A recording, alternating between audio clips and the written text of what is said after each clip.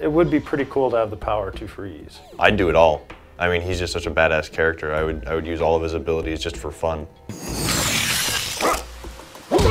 What would I do with freezing powers? I don't know. See, that would have to be fun because you could, you know, I don't know, freeze people in their place, or maybe just like you know how he can freeze people's boots in their place or his feet in their place. I would just totally like get people stuck and do things to them, you know, like tickle them a lot, maybe.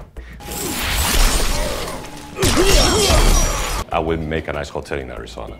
His real power is his uh, sense of style and clothing. I mean, he's, he's really got some threads. This fight will be your last. If I had Sub-Zero's freezing power, I would probably make a giant ice castle fort and just hang out there like in the summer. I like relatively cool days, so I would probably just wear uh, an ice sheen at all times, uh, especially like today, it's like 90 outside.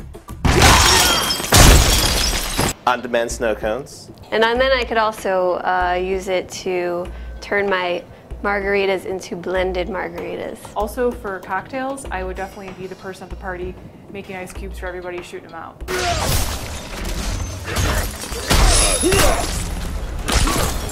I'd run for office. I'd go uh, run for president. I think I'd get elected pretty easily, uh, just promising to free spending in Washington.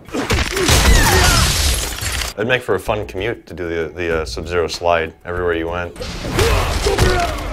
So you could do like an automatic slip and slide, right? Or, or you know, hey, let's go skating. I'll just go out in the backyard. Psh, you know, done. We, we got a, you know, we got a skating rink. Sub-Zero wins. Flawless victory.